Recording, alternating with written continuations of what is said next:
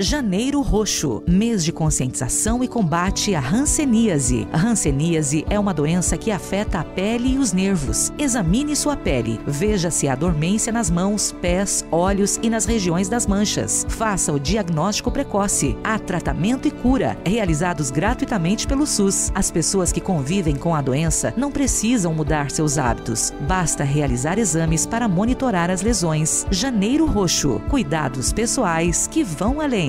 Apoio Rede Selinalta.